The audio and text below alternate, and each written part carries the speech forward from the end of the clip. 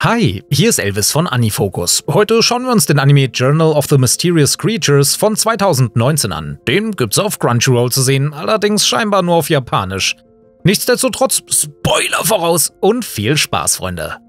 Das Leben von Hao Ren, einem gewöhnlichen Mann mit außergewöhnlicher Freundlichkeit, nimmt eine unerwartete Wendung, als er eines schicksalhaften Tages auf einer Parkbank ein Nickerchen macht. Er wird von einem süßen Mädchen geweckt, das ihn nach dem Weg fragt, weil sie sich verlaufen hat. Zu Hao Rens Überraschung sucht das Mädchen sein Haus, da er es vermieten will. Hao Ren beschließt, das Mädchen zu seinem Haus zu bringen.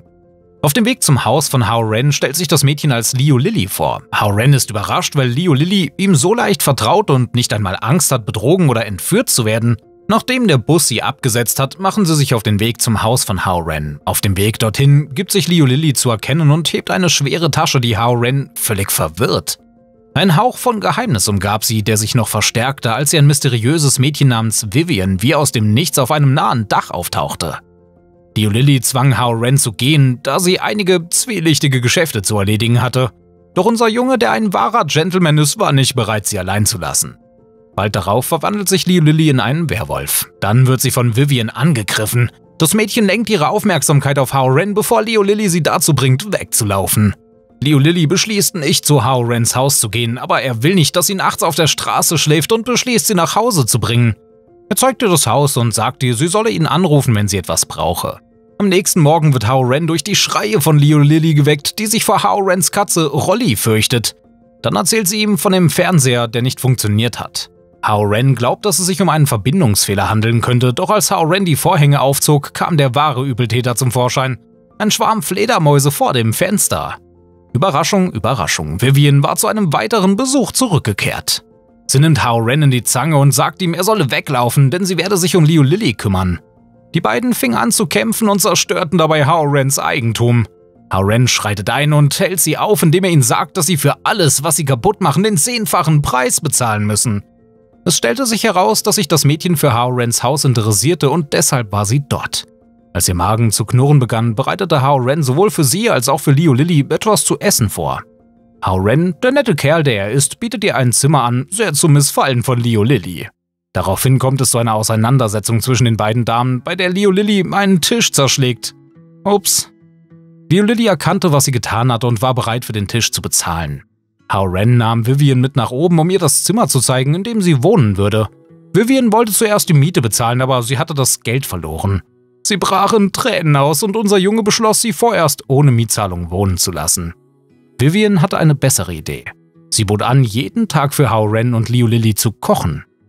Später, als Vivian für sie kocht, finden sie das Essen äußerst köstlich und Vivian freut sich über die Komplimente, die sie von ihnen erhält. Gerade dann erhält Hao Ren einen Anruf von jemandem.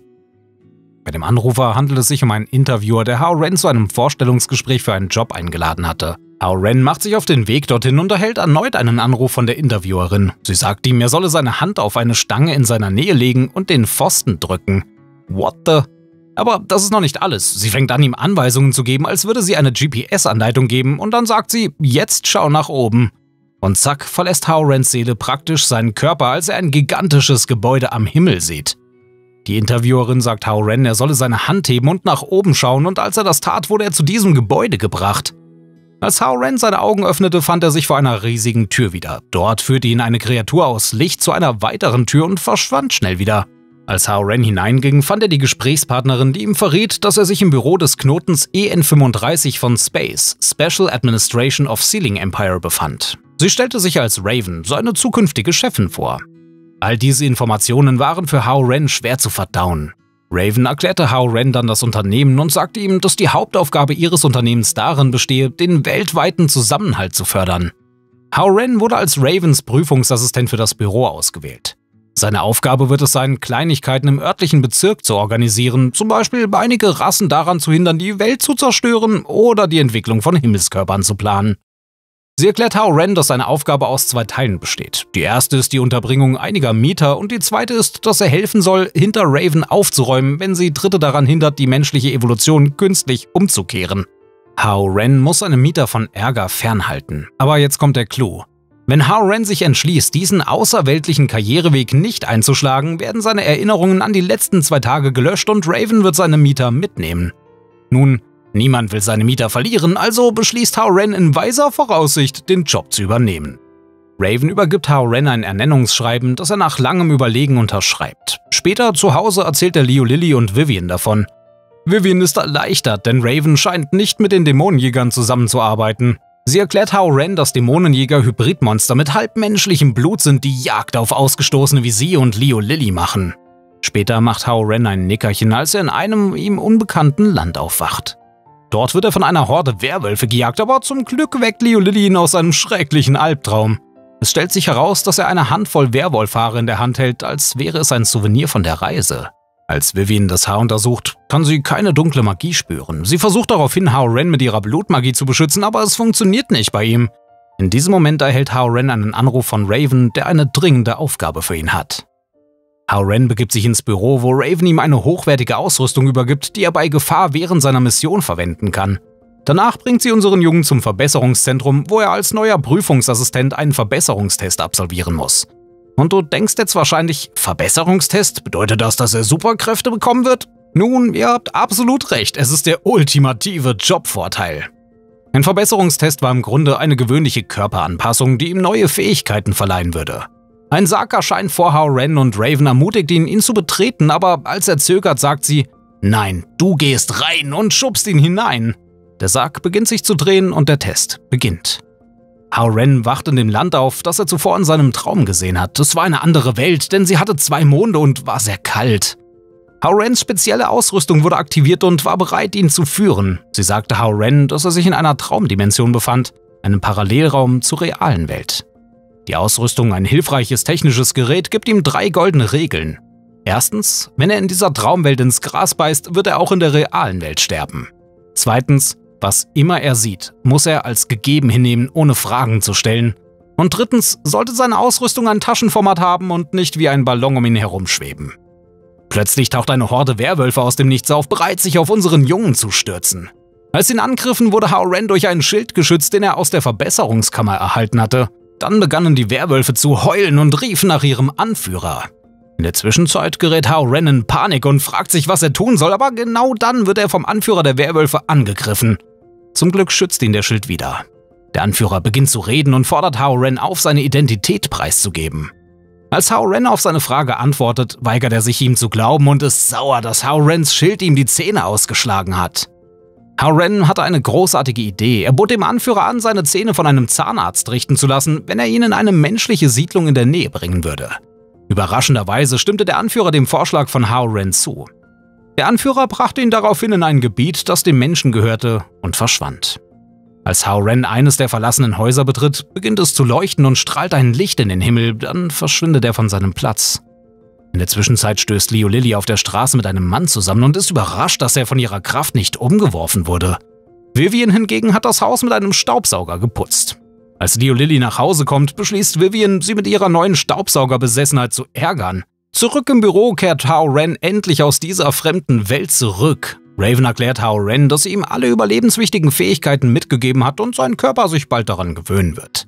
Während sie ihn hinaus begleitet, teilt Raven Hao Ren mit, dass er für ein paar Tage nach Europa reisen wird, um einen neuen Mieter zu empfangen. Sie übergibt ihm die Tickets und unser Junge macht sich auf den Heimweg. In der Zwischenzeit verzaubert Raven das Werwolfshaar, das Hao Ren bei seiner kleinen Expedition erhalten hat, und es verschwindet. Ja, da kommt etwas Böses auf uns zu. Unsere Gruppe ist mit dem Flugzeug auf dem Weg nach Europa zu Hao Rens Mission. Er muss einen Mann finden, der in Yorkford lebt und über den er keine weiteren Details weiß. Als sie in Yorkford landen, lässt Vivian eine Wissensbombe platzen. Sie hat früher hier gelebt, als die Stadt noch eine öde Einöde war. Wie lange ist das her, fragt ihr? Nun, vor Jahrhunderten. Die Gruppe konnte den Weg zu ihrem Hotel nicht finden und Vivian beschloss, Leo Lillys starke Nase zu benutzen. Leo Lilly konnte sie zu ihrem Hotel führen. Wer braucht schon GPS, wenn man die Nase eines Werwolfs hat? Die Mädchen sind sehr glücklich, nachdem sie ihre Hotelsuit bezogen haben, denn sie war gemütlich und angenehm. Sie ruhen sich aus und essen nach Herzenslust, doch Hao Ren unterbricht ihren Spaß, indem er ihnen sagt, sie sollten sich auf ihre Mission konzentrieren. Hao Ren aktiviert seine Ausrüstung, um den Standort des gesuchten Mannes zu erfahren, allerdings konnte er die Karte nicht lesen, da seine Ausrüstung nicht aktualisiert war. In diesem Moment kontaktierte Raven ihn und nachdem sie von diesem Problem erfahren hat, aktualisiert sie Hao Rens Ausrüstung sofort. Später beim Essen spürt Vivian, dass mit ihrem patrouillierenden Ruf etwas nicht stimmt und sagt Hao Ren und Liu Lily, dass sie in ihr Zimmer zurückgehen sollten. Da taucht Nangong auf, ein zufälliger Kerl, der sich ihrer Gruppe anschließt. Als sie nach Yorkford fragen, lässt er beiläufig die Bombe platzen, dass die Stadt von Geistern heimgesucht wird. Später warnt Liu Lily Hao Ren vor der Anwesenheit eines Dämonenjägers im Hotel und alle ihre Pfeile zielen auf Nangong. In der Zwischenzeit entpuppt sich Nangong, der das Gespräch der beiden belauscht hatte, als Dämonenjäger. Doch Vivian lacht herzhaft und glaubt nicht, dass Nangong tatsächlich ein Dämonenjäger ist, da er ihn Fremden wie ihnen offen vorgestellt hat. Aber als Nangong versuchte sich zu erklären, rutschte er schließlich aus, doch unser Junge rettet ihn vor dem Absturz. Danach überzeugt Nangong Vivian davon, dass er ein echter Dämonenjäger ist, nachdem er ihr die Beschwörungsformel des Dämonenjägers gezeigt hat. Dann bietet er der Gruppe an, mit ihm nach York vorzugehen und sie stimmen zu. Nachdem er gegangen ist, sagt Vivian zu Hao Ren, dass sie ihm immer noch nicht ganz traut und dass sie ihn gut im Auge behalten müssen. Sie glaubt, dass Nangongs Ziel ihr neuer Mieter sein könnte. Am nächsten Morgen steigen sie alle in einen Zug nach Yorkford. Unterwegs stoßen sie auf ein Nachrichteninterview mit einem Mann namens Angus, der ausführlich über seine Begegnung mit den Geistern in Yorkford berichtet. In diesem Moment treffen sie auf eine Jagdgesellschaft, die Nangongs Aktenkoffer aus dem Weg räumen will. Aber keine Sorge, Leo Lilly hebt sie einfach auf, als wäre sie eine Feder, obwohl sie wahrscheinlich schwerer ist als ein Berg. Nangong erklärt, dass es seine Jagdausrüstung ist. Vivian hingegen wendet sich an Hao Ren und erklärt ihm, dass ein wahrer Dämonenjäger all diese Werkzeuge nicht braucht was sie zu dem Schluss kommen lässt, dass Nangong ein gewöhnlicher Mann ist. Als die Gruppe Yorkford erreicht, machen sie sich auf den Weg zum Gasthaus, wo sie Angus treffen. Angus teilt ihnen mit, dass alle Zimmer belegt sind, aber er wird sein Bestes tun, um ein Zimmer für sie zu finden. Nach einiger Zeit gelingt es Angus, zwei Zimmer für seine Gäste vorzubereiten. Die Mädchen gehen zuerst, da Leo Lilly bereits schläft. Nachdem er auf einem Papier unterschrieben hat, bekommt Nangong einen Schlüssel für ein weiteres Zimmer, in dem er und Hao Ren wohnen werden. Nangong bittet Angus um die Karte des Schlosses, doch dieser erklärt ihm, dass es die Karte nicht gibt. Angus erklärte weiter, dass die Menschen vor vielen Jahren vor dieser Burg gewarnt wurden. In der Burg fand ein Aufstand statt, bevor sie verlassen wurde.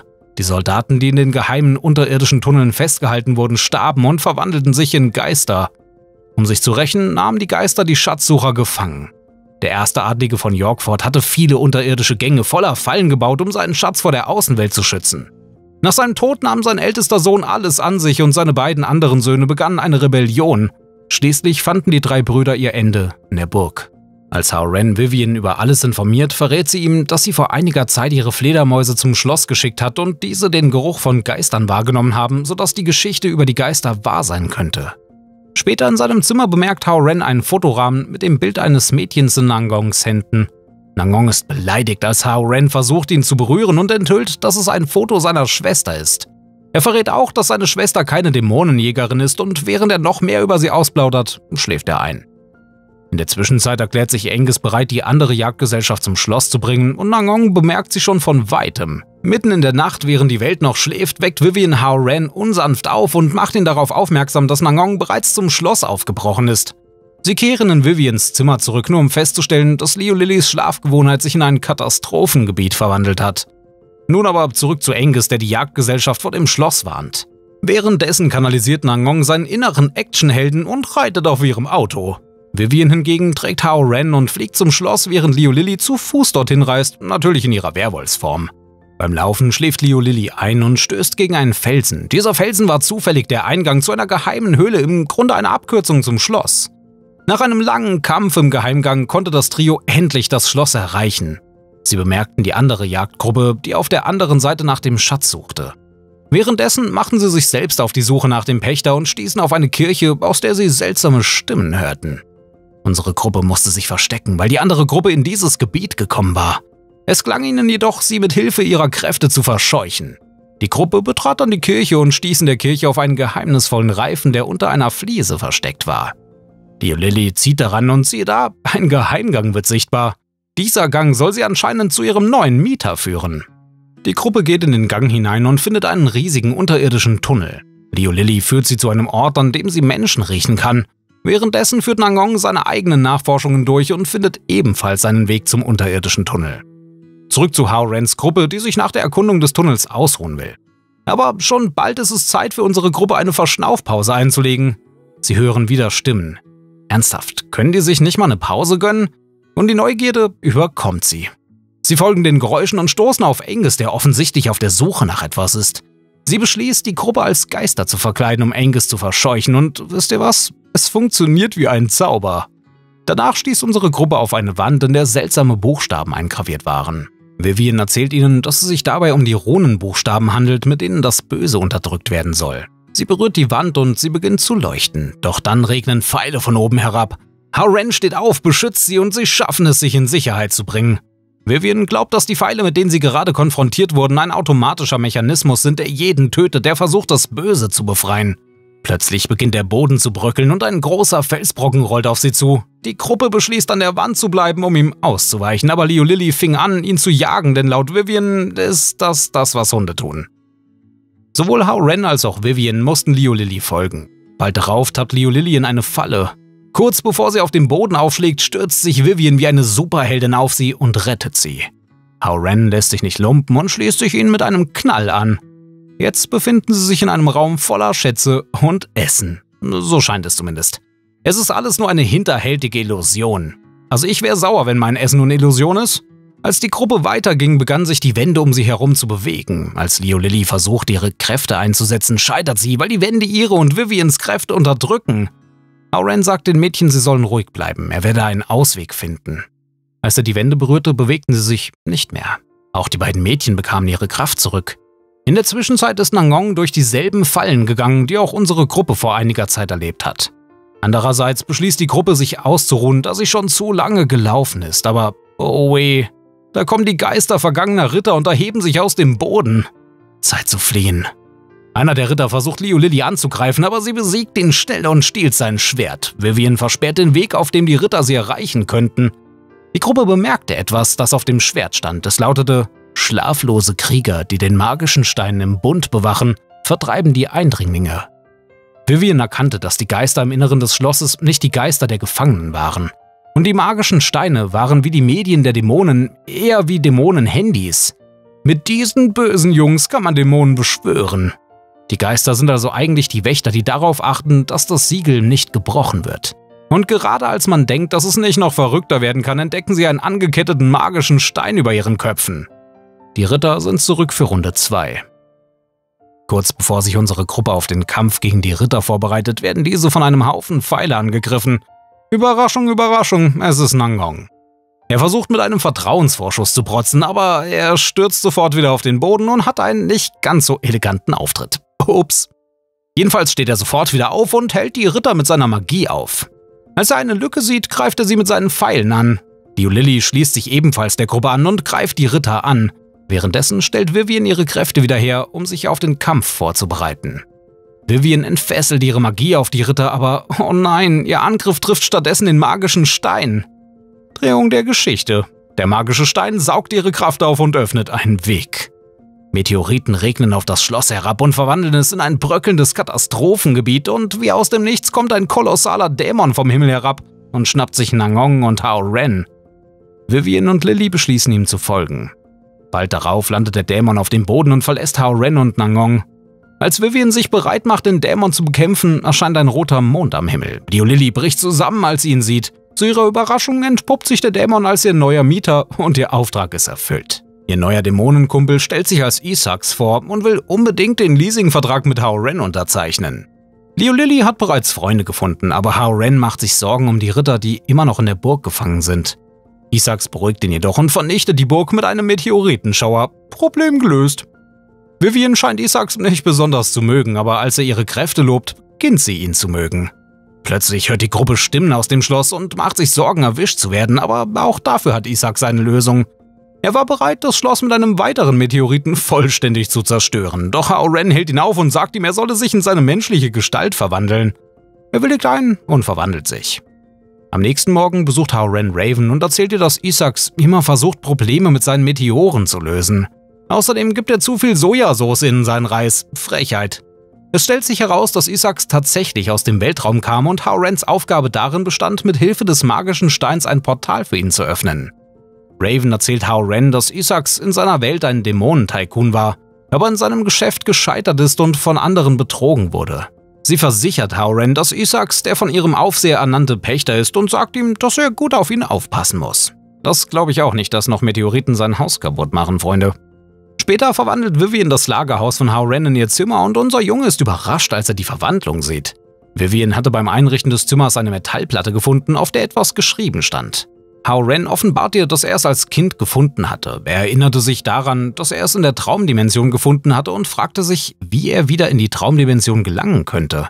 Nachdem sie den Inhalt der Metallplatte untersucht hat, stellt Vivian fest, dass sie für ein Opferritual verwendet werden muss. Plötzlich erhält Hao Ren einen Anruf und erfährt, dass Isaacs von der Polizei gefasst wurde. Hao Ren macht sich daraufhin auf, um ihn abzuholen. Nachts wacht Liu Lily aus dem Schlaf auf und ihre Augen sehen ein wenig seltsam aus. Sie schafft es, Rolli zu erschrecken und schläft wieder ein. Darf ich mir das jetzt so vorstellen, wie die Katzen immer wegfliegen, wenn sie sich erschrecken? Egal. Am nächsten Tag begegnet Hao Ren einem Mädchen, das auf der Straße singt. Sie hält ihren Hut für Spenden bereit, aber ratet mal. Unser Mann hat seine Brieftasche zu Hause vergessen. Das Mädchen findet ihn sehr knauserig. Hao Ren trifft sich mit Raven, der einen brandneuen Auftrag für ihn hat. Ihr neuester Mieter sollte von einem interstellaren Lieferservice per Hand auf die Erde gebracht werden, aber dieser hat es vermasselt und die Fracht auf einem 895 Lichtjahre entfernten Planeten abgesetzt. Jetzt ist es Howrens Aufgabe, die lange Reise anzutreten, um den Mieter persönlich abzuholen. Natürlich fängt Howren an, sich zu beschweren, aber Raven erinnert ihn daran, dass diese verrückten Missionen zum Job eines Prüfers dazugehören. Sie stellt ihm den Planeten Kuiper vor und verspricht, seine Weltraumteleportfunktion für einen Raketenflug zu verbessern. Da der Planet größtenteils von Wasser bedeckt ist, hat Raven außerdem einen Meeresexperten für ihn vorbereitet. Der Meeresexperte kommt herein und zu seiner Überraschung ist sie das Mädchen, das er vorhin auf der Straße getroffen hat. Raven offenbart Hao Ren, dass das Mädchen auch seine neue Mieterin ist. Das Mädchen heißt Nangong Wuyue und Hao Ren stellt sie zu Hause dem Rest der Gruppe vor. Wuyue offenbart allen, dass sie eine Ausgestoßene ist, da ihre Mutter eine Sirene ist, sie aber an Land aufgewachsen ist. Wenn du dir den Kopf darüber zerbrichst, was eine Sirene ist, hat Vivian eine Lösung für dich. Sie sind eine uralte, ausgestoßene Rasse, die normalerweise in der Tiefsee lebt und an Land sind sie äußerst selten. Oh, und hier ist eine interessante Tatsache über sie. Sirenen sind eine rein weibliche Rasse, die sich durch geheime Zeremonien fortpflanzt. Nach ihrem Vortrag beschloss Vivian etwas zu kochen, da Voyeux hungrig war. Während des Mittagessens erzählt Hao Ren der Gruppe von ihrer neuen Mission. Isaacs möchte mitkommen, da er alles über den Weltraum weiß. Leo Lily möchte auch mitkommen, aber ihr Bauch tut weh, also sagt Hao Ren ihr, sie solle sich ausruhen. Nachts wacht Hao Ren auf, um Wasser zu trinken und wird von Voyeux angesprochen, die ihn fragt, was für eine Art von Gruppe sie sind. Hao Ren erklärt ihr, dass sie nur Gelegenheitsarbeiter aus dem Weltraum in ihrem Land seien. Am nächsten Morgen befördert Hao Rens Terminal ihn, Isaacs und Voyeux zur Kupia-Station. Dort treffen sie auf ihren Stationsführer, der sie zu ihrem reservierten Raumschiff führt. Nachdem sie an Bord gegangen sind, stellen sie fest, dass sie die einzigen Passagiere sind. Es stellt sich heraus, dass sie in ein kleineres Flugzeug umsteigen werden, das näher an ihrem Ziel liegt. Sie lernen den Kapitän des Schiffes kennen, der sie zu ihrem Ziel führen wird. Um die Zeit totzuschlagen, beginnt die Bande ein Kartenspiel, aber irgendetwas stimmt nicht. Trotz der wahnsinnigen Geschwindigkeit der Rakete bleibt die Landschaft statisch und langweilig. Plötzlich wird ihnen gesagt, dass es Zeit ist, in das kleinere Flugzeug umzusteigen, doch das Raumschiff beginnt zu wackeln und der Kapitän verkündet, dass der stärkste Konkurrent ihres Raumschiffs gerade versucht hat, sie hinter sich zu lassen, wodurch es ins Wanken gerät. Das feindliche Schiff gab immer noch nicht auf. Unsere Gruppe stürzte sich daraufhin auf ihr kleineres Luftschiff, aber oh weh, was ist das? Haurens Gerät hat nicht die Berechtigung, die Luke zu öffnen, die sie brauchen, um an Bord des kleineren Schiffes zu kommen. Da Isaacs keine andere Möglichkeit blieb, beschloss er, die Tür mit seiner Kraft zu öffnen. Er verwandelt sich in seine Dämonenform und schafft es, ihnen den Weg zu öffnen. Unsere Gruppe steuert dann direkt auf ihr Ziel zu, sie landen direkt im Wasser und Hao Ren verlässt schließlich das Schiff. Gerade als er dachte, er würde sterben, sah er eine Sirene vor sich. Als Hao Ren seine Augen öffnet, befindet er sich in der Traumdimension. Sein Gerät informiert ihn darüber, dass die geistige Instabilität durch das Ertrinken ihn wieder in die Traumdimension gebracht hat. Er verrät auch, dass er in der realen Welt von Voyeux vor dem Ertrinken gerettet wurde. Als Hao Ren nach draußen geht, sieht er zwei Gruppen von Werwölfen, die gegeneinander kämpfen. Hao Ren unterbricht den Kampf und verscheucht die feindliche Werwolfgruppe. Der Anführer erinnert sich an Hao Ren vom letzten Mal, als er dort war. Der Anführer der Werwölfe ist nicht sehr erfreut und murmelt etwas von Mitleid, aber Hao Ren versichert ihm, dass er niemanden bevorzugen würde. Er wolle nur helfen. Die Werwölfe fragen Hao Ren nach dem Zahnarzt und er verspricht, dass er ihn bei seinem nächsten Besuch zu ihnen bringen wird. Dann zeigt Hao Ren dem Anführer seine Metallplatte. Er erzählt Hao Ren, dass die Sprache, die darauf geschrieben steht, für Segnungen und Rituale verwendet wird. Er verrät, dass ein alter Mensch ihm diese Sprache beigebracht hat. Hao Ren fragt ihn nach weiteren Verwendungsmöglichkeiten dieser Sprache. Gerade als der Anführer das Geheimnis lüften will, wird Hao Ren in die reale Welt zurückgeholt. Er wacht auf und findet Voyeux und Isaacs vor sich. Hao Rens Gerät zeigt ihm daraufhin eine Karte des Planeten und weist auf zwei Orte hin, an denen sich ihr Mieter befinden könnte.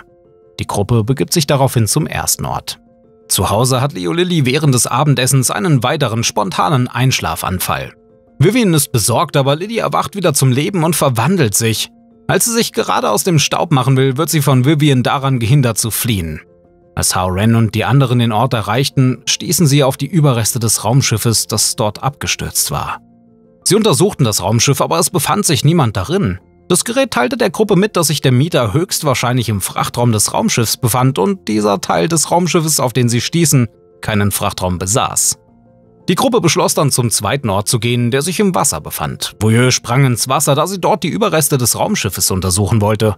Sie verwandelte sich in eine Meerjungfrau und nimmt Hauren mit sich fort. Hauren dachte, er würde sterben, aber dank Voyeux konnte er noch atmen, aber wie? Nun, sie konnte das Wasser um sie herum nach ihrem Willen manipulieren. Bald darauf versucht ein außerirdischer Hai sie anzugreifen, aber Voyeux verscheucht ihn, indem sie sich in einen Oktopus verwandelt. Sie überrascht Tauren noch mehr, als sie sich in eine Gottesanbeterin verwandelt. Die beiden begeben sich dann zu dem Ort, an dem sie weitere Überreste des Raumschiffes finden. Voyeux hat es mit einer Schutzbarriere abgedeckt. Im Inneren fanden sie niemanden, allerdings hat Voyeux ein Ei in die Hände bekommen und auch einige Babyartikel gefunden. In der Zwischenzeit setzt sich Hao Ren mit Raven in Verbindung, um sie über die Situation zu informieren.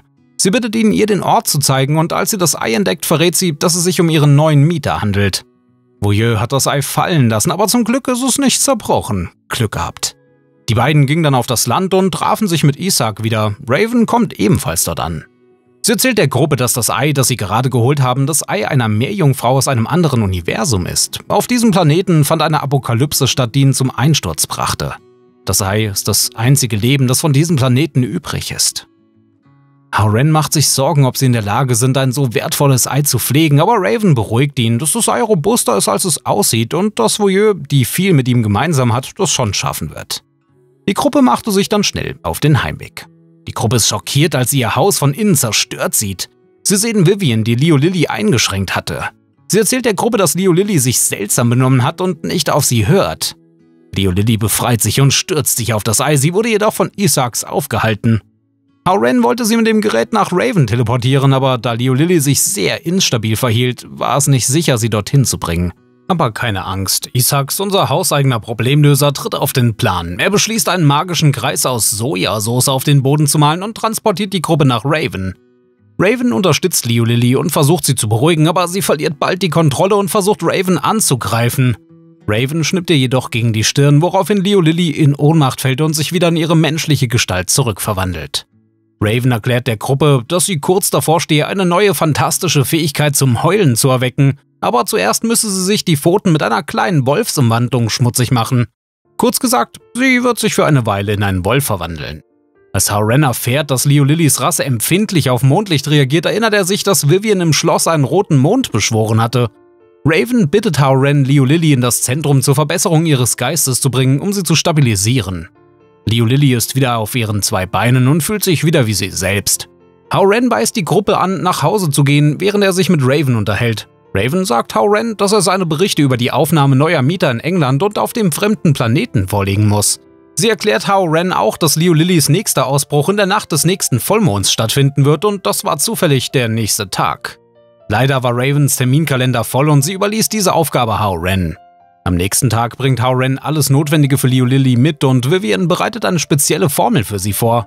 In der Nacht macht sich die Gruppe auf den Weg und schlägt ihr Lager auf. Einige Zeit später schlafen alle ein, außer Leo Lily, die hinausgeht und sich verwandelt. Nachdem sie ihr Heulen gehört hat, wacht die Gruppe auf und geht hinaus, um nach ihr zu sehen.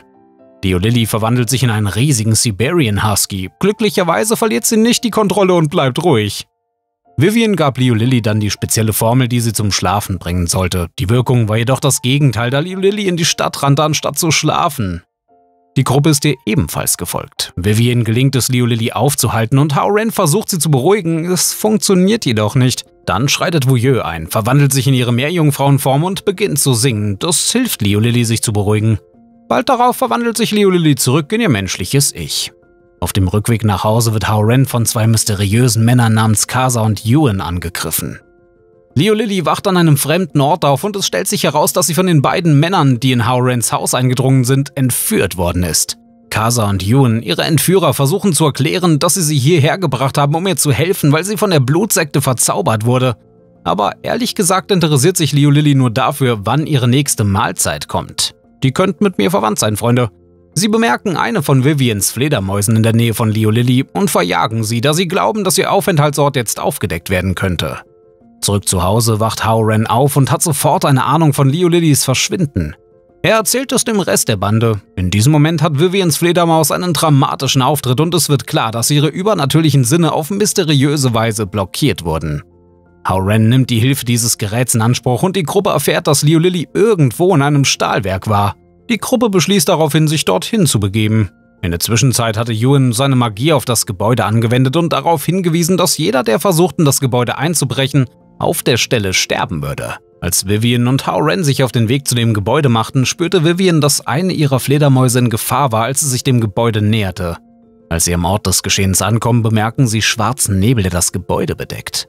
Vivian ist nicht in der Lage, die Magie zu neutralisieren und glaubt, dass Howren in der Lage sein könnte, sie zu neutralisieren. Er sagt Vivian, sie solle ihn mitnehmen, doch Ewan, die andere Hälfte des dynamischen Werwolf-Duos, hat andere Pläne. Er macht einen auf Teen Wolf und verwandelt sich in einen vollwertigen Werwolf. Es ist ein pelziger Showdown. Vivian setzt Howren an einem sicheren Ort ab und beauftragt ihn nach Leo Lilly zu suchen, während sie gegen Ewan kämpft. Howren erreicht auf der Suche nach Leo Lilly ein Lagerhaus und wird dort von Kasa angegriffen. Howren versucht zu fliehen, aber Kasa ist zu schnell. Er erreicht Howren überall, wo er hingeht und greift ihn an. Howren gelingt es jedoch, ihn abzulenken, bevor er sich auf die Suche nach Leo Lilly macht. Es gelingt ihm, sie zu finden und sie aus dem Schlaf zu wecken. Als sie gerade gehen wollen, taucht Kasa wieder vor ihnen auf, aber halt! Vivian kommt mit einem Knall herein, denn sie hat Ewan besiegt. Howren will nicht, dass sich jemand streitet und verrät Leo Lillys Mieterstatus. Er besteht darauf, dass es keinen Grund gibt, warum Werwölfe und Mitglieder der Blutsekte nicht beste Freunde sein können. Kein Schaden, kein Faul, richtig? Die Brüder erklärten dann, dass der Tag der Prophezeiung vor der Tür stehe. Es ist der Tag, an dem eine Prophezeiung von den Sirenen geschickt wird, dass alle Ausgestoßene ihre Kraft wiedererlangen werden. In diesem Moment werden sie von einem Team von Dämonenjägern umzingelt. Die Anführerin der Dämonenjäger verschwendete keine Zeit und befahl ihren Truppen, unsere Gruppe anzugreifen, aber sie wussten offensichtlich nicht, dass sie es mit dem A-Team der übernatürlichen Wesen zu tun hatten. Howren, der schnelle Denker, der er ist, beschwor einen Schild, um alle vor dem ankommenden Ansturm zu schützen. Bumm! Abgeschirmt wie Superhelden. Als draußen einer von ihnen Hao Ren angreift und nach seiner Rasse fragt, versucht unser Junge sie davon zu überzeugen, dass er ein Mensch ist und nicht zu den Ausgestoßenen gehört. Doch die Dämonenjägerin kauft ihm das nicht ab. Sie konnte riechen, dass an ihm etwas faul war oder, sollte ich sagen, etwas übernatürlich Faules. Menschen bewegen sich einfach nicht so schnell und haben nicht die Ausdauer, die Hao Ren hatte. Hao Ren kann die Dämonenjägerin überwältigen und schlägt sie erfolgreich K.O., dann macht er sich auf den Weg zum Rest der Gruppe. Währenddessen hatte Kasa in der anderen Ecke des übernatürlichen Showdowns keine gute Zeit. Er hat sich bei dem Kampf mit den Dämonenjägern ziemlich verausgabt. Yun, der beschützende jüngere Bruder, sah rot und war bereit, sich für Kasas Verletzungen zu rächen, doch bevor er sich rächen konnte, versetzte ihm der Anführer der Dämonenjäger einen durchdringenden Schlag. Als der Anführer Kasa zwingt, das Geheimnis zu lüften, treffen Hao Ren und Liu Lili am Tatort ein und halten Kasa gerade noch rechtzeitig auf, damit er dem Druck des Anführers nicht nachgibt. Leo Lilly gelingt es, die Gruppe an einen sicheren Ort zu bringen, weg von den Dämonenjägern. Kasa glaubt, dass ihre Aktionen von den Dämonenjägern bemerkt wurden und sie sich ihnen deshalb genähert haben. Auch Isaacs und Voyeux schließen sich dem Rest der Gruppe an. Voyeux bemerkt Yuns Verletzungen und heilt ihn mit ihrer Heilmagie. Kasa setzte seine Erzählung über den Tag der Prophezeiung fort. Nachdem die Ausgestoßenen ihre Kräfte wiedererlangt haben, werden die Dämonenjäger zurückgehen. Für den Tag der Prophezeiung versammeln sich alle Ausgestoßenen mit Mitgliedern ihrer Art. Kasa erklärt ihnen weiter, dass sie Leo Lilly entführt haben, um sie für das bevorstehende Ereignis zu ihrem Clan zurückzubringen. In diesem Moment treffen einer der Dämonenjäger und sein Anführer ein und unsere Gruppe bereitet sich auf den Kampf mit ihnen vor. Der Anführer versucht Isaac anzugreifen, aber unser Dämon lässt sich davon nicht beeindrucken. Isaac erschreckt den Anführer und er versucht wegzulaufen, aber unser Dämon hält ihn auf und schlägt ihm auf die Stirn, um ihn zu überzeugen, mit ihnen zu reden, anstatt Gewalt anzuwenden. Aber der Anführer ist niedergeschlagen und nicht mehr in der Lage zu reden. Hauren hatte Raven bereits einen groben Bericht über alles gegeben und sie beschlossen zu gehen. Die beiden Brüder wollten ebenfalls aufbrechen, aber Lilly beschloss, bei Hauren und der Gruppe zu bleiben. Als unsere Gruppe sich entspannte, weil sie glaubte, endlich eine Pause einlegen zu können, hatte ein anderer Dämonenjäger einen dramatischen Auftritt und nahm Voyeux als Geisel. Diesem neuen Gegner ging es nur um ein Druckmittel und er verlangte die Brüder im Austausch für Voyeux sichere Freilassung, doch die waren schon weg. Interessanterweise tauchte Nangong dort auf und wollte, dass der andere Dämonenjäger ihm Voyeux übergab und sie im Gegenzug ihren Anführer bekam. Sie stimmte diesem Handel zu und ging, nachdem sie ihren Anführer mitgenommen hatte, doch die beiden tappten in die Falle und wurden im Wald angegriffen. Hier eine weitere Wendung der Geschichte. Voyeux und Nangong waren Geschwister. Ja, du hast richtig gehört. Unsere Bande gönnt sich endlich eine Verschnaufpause in ihrem Haus, aber sie haben einen Gast in Form von Nangong, der seine Verbindung zu Voyeux noch nicht erklärt hat. Das Bild, das Hao Ren in England gesehen hat, war in Wirklichkeit von Voyeux. Sie mag es nicht, dass ihr Bruder sie so beschützt und besessen von ihr ist. In der Vergangenheit war er ihr die ganze Zeit gefolgt, was ihr Unbehagen bereitete. Nangong hingegen versuchte sein Stalker-Verhalten zu rechtfertigen, indem er erklärte, dass Voyeux, wohin sie auch ging, wie ein Schatten von Problemen verfolgt wurde. Er hielt es für seine Pflicht, ein wachsames Auge auf sie zu haben und sie vor jeder Gefahr zu schützen, doch Voyeux schätzte zwar seine Besorgnis, bat aber freundlich um etwas mehr persönlichen Freiraum und weniger verdeckte Überwachung.